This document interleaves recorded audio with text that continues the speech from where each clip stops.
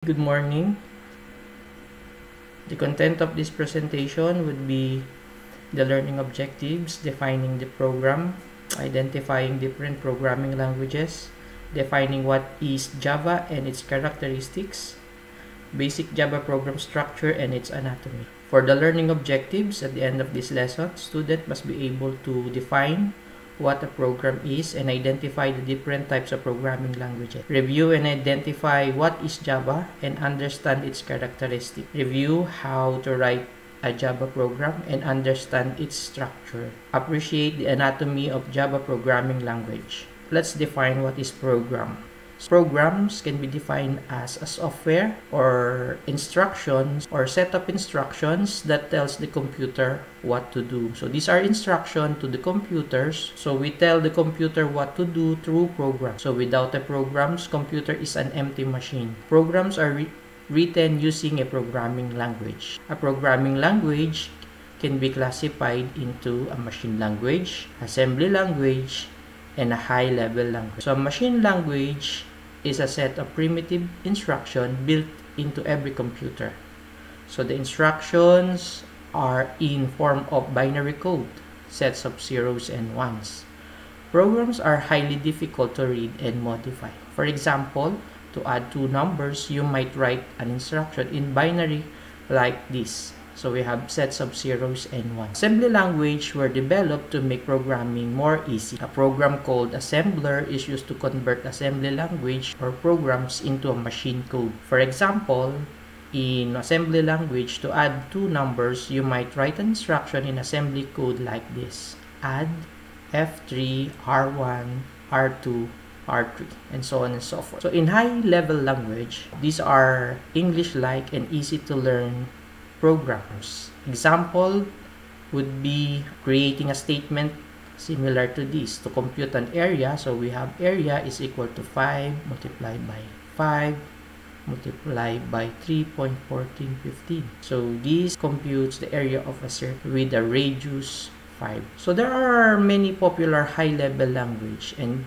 and some of these are the COBOL or the Common Business Oriented Language, the Fortran or the Formula Translation or Formula Translator, the Basic or the Beginner All-Purpose Symbolic Instructional Code. And then we have the Pascal, named after the Blaise Pascal. We have the ADA or named after Ada Lovelace C, whose developer designed B first. And then we have the Visual Basic, so basic-like language developed by Microsoft. We have the Delphi, Pascal visual language developed by Borland. We also have C++, an object uh, object-oriented language based on C, and Java, developed by Sun Microsoft. So in high-level language, so source code or object code should be compiled. Program written in high-level language is called source program. So program called a compiler to translate the source program into a machine language called an object program. So the object program is opened, then linked and executed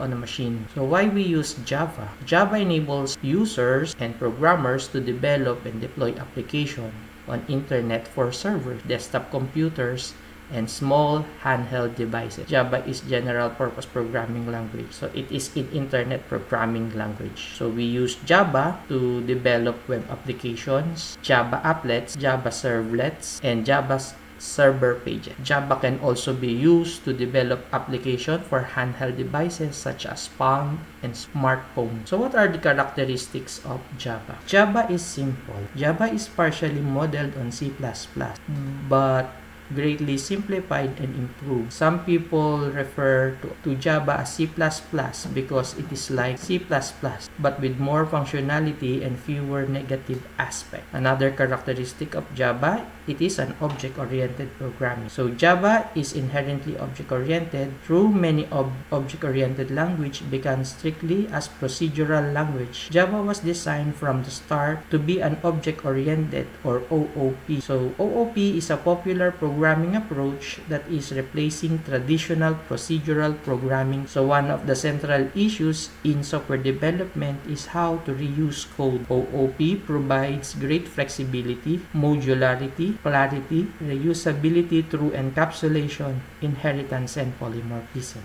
Java is also distributed. Distributed computing involves several computers working together on a network. Java is designed to make distributed computing easy. Since networking capability is inherently integrated into Java, writing network program is like sending and receiving data to and from a file. Another characteristic of Java is interpreted. You need an interpreter to run Java program. The programs are compiled into JVM or Java Virtual Machine Code also known or also called as bytecode. The bytecode is a machine independent and can run on any machine that has a Java interpreter, which is a part of the JVM. Java is robust. Java compilers can detect many problems that would be would first show up at an extension time or execution time in other languages. Java has eliminated certain types of error-prone programming constructs found on other programming language. Java has a runtime exception handling feature to provide programming support for robustness. Java is secure. Java implements several security mechanisms to protect system against harm caused by stray programs. Java is portable because Java is architecturally neutral. Java programs portability. They can be run on any platform without being recompiled. Java's performance is portable and secure. Its performance is greatly improved. So Java is multi-threaded. So multi-threaded programming is multi-integrated in Java whereas in other language you have to call procedures specific to, to the operating system to enable multi-threading. So these are the characteristics of the Java. So Java has many uh, development kits or the JDK, Java Standard Edition or the J2SE.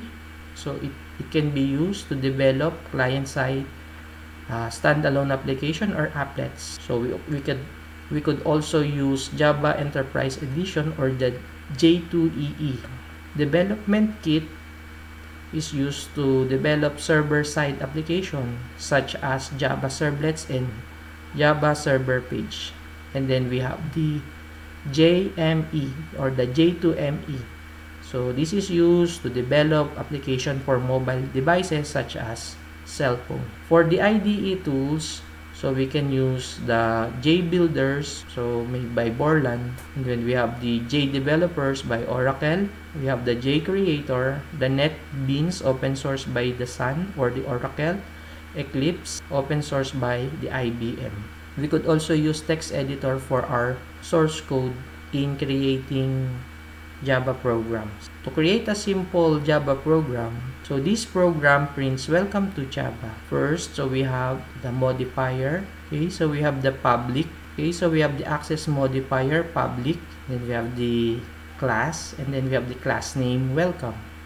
And for the main method, we have public static void main string args. And then we have the block statement. Inside the block statement, we have system.out.print println and then we have the string welcome to java. And then that is the statement and then terminated by a semicolon. So this would be the procedure in creating programs in java. So first we create we modify the source code.